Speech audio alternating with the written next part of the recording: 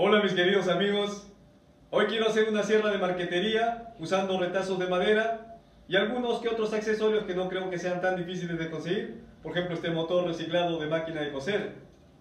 Quiero hacer una sierra que sea bonita, presentable, fácil de hacer, usando herramientas manuales y algunas herramientas eléctricas. Como siempre, espero que este video les sea de su agrado. Usamos dos listones de 2 centímetros de espesor, 4 centímetros de ancho y 48 centímetros de largo. De un extremo vamos a medir 12 centímetros y le hacemos un orificio con broca 516 y luego le pasamos macho para que quede rosca de 3 octavos. Tomando como referencia estos puntos donde hemos hecho los orificios, hacemos estos trazos para darle una caída en cada extremo que nos quede más delgado, pero a su vez también para que la madera no pierda fuerza.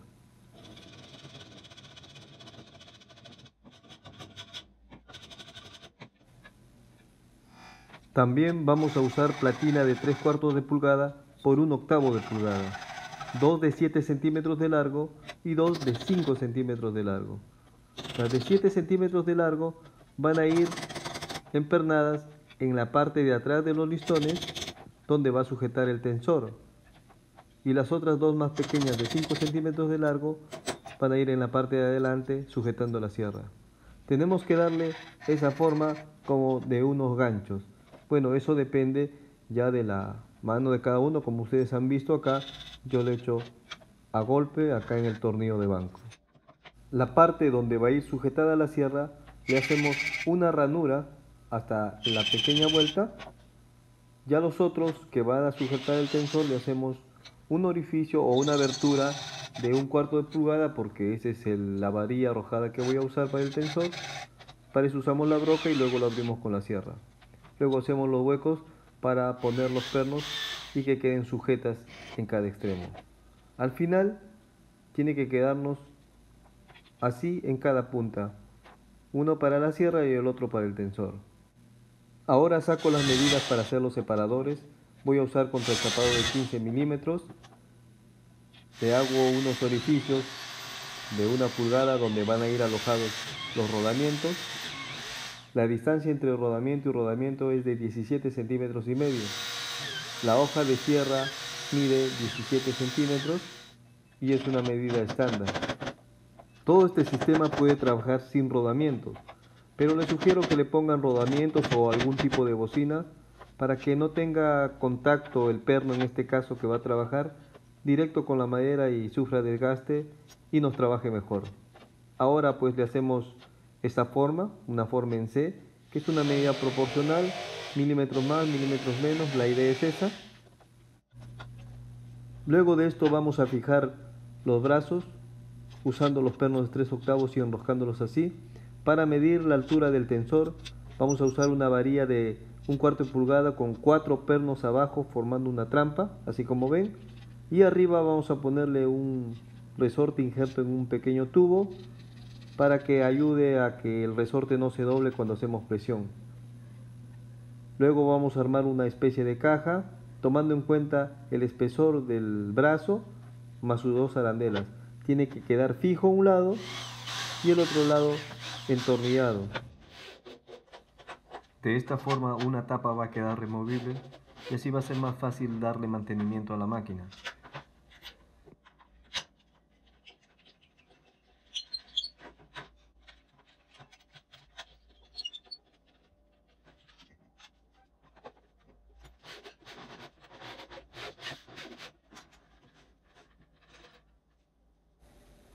Como les dije, voy a usar un motor reciclado de máquina de coser, un motor pequeño.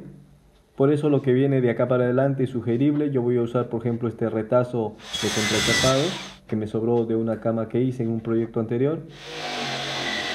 Y para hacer el sistema de biela en el brazo de la parte baja, a 9 centímetros del extremo donde va a ir la sierra, hago un orificio de 5,16 para pasarle luego macho de 3 octavos, porque ahí va a ir un perno. También voy a usar dos pequeños rodamientos de 2 centímetros de diámetro y voy a hacer también este talubo de esta forma de manera que entre a presión en el interior de estos pequeños rodamientos, así. También saco una pieza con la sierra copa de 5 centímetros de contrachapado de 18 milímetros. Y para hacer la pieza donde van a ir alojados los pequeños rodamientos, hizo contrachapado de 12 milímetros. Le hago los orificios de manera que entren los rodamientos a presión con una separación de 4 centímetros midiéndolo desde el centro de cada rodamiento.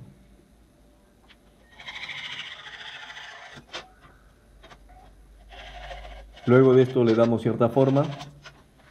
A la pieza que hemos sacado con la sierra copa le vamos a hacer un orificio de 3 octavos de pulgada donde va a ir alojado el tarugo que hemos hecho que va a actuar como pin. Cortamos esas piezas de tubo de aluminio para ponerla como separadores de madera que cuando se junten las piezas no choquen madera contra madera. Tiene que quedar así. Ahora vamos a fijar esa pieza, ayudados con pegamento rápido, le ponemos una arandela y lo injertamos a presión. Ahora de una planchuela de 23 centímetros de largo vamos a hacer la abrazadera que es la que va a sujetar el motor.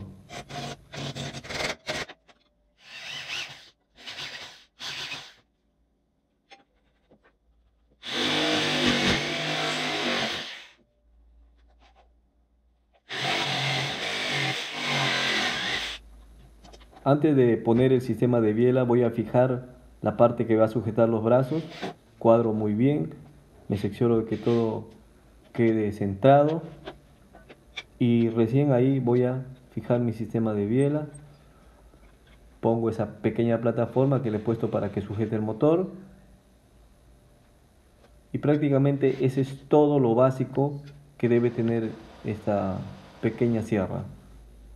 Y bueno, mis amigos, lo que viene seguidamente yo creo que es entendible en imágenes, cosas de cada uno, los gustos, por ejemplo esa bombilla que le he puesto para que eche aire en la parte donde estamos trabajando la hora que acciona la máquina. La pueden poner o dejarla así nada más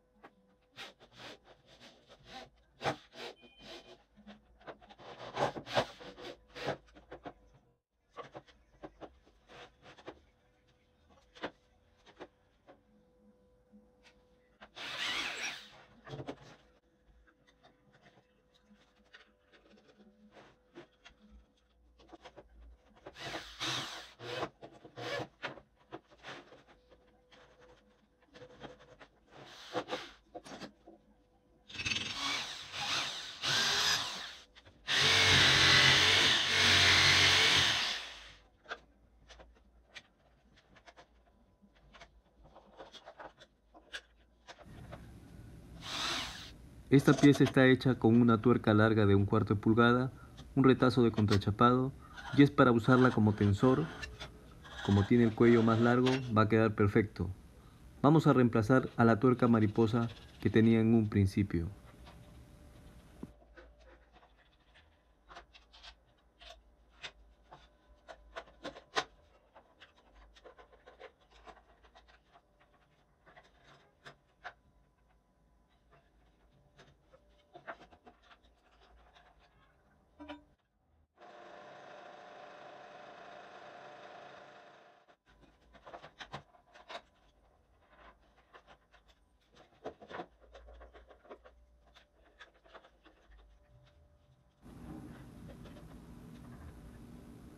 Ahora pruebo la máquina armada completamente.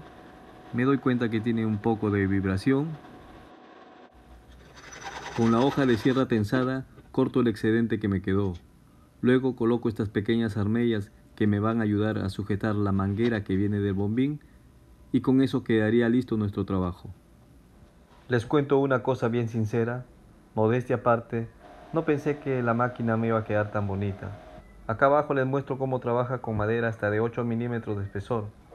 Para trabajar con material delgado, MDF, Trupan, Triply, madera hasta de 5 milímetros de espesor, esta máquina queda muy bien. Ahora si quisiéramos trabajar con material más grueso, pues tendríamos que cambiarle de motor. Eso es lo que yo he pensado hacer, ya que la máquina me ha quedado así.